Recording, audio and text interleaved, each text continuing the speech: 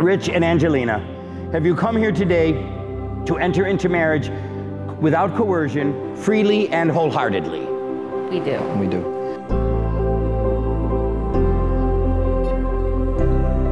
May Almighty God bless you all, my friends, in the name of the Father, and of the Son, and of the Holy Spirit.